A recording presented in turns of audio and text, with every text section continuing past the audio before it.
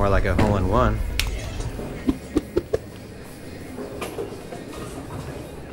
Yeah, can you can you call the attendant?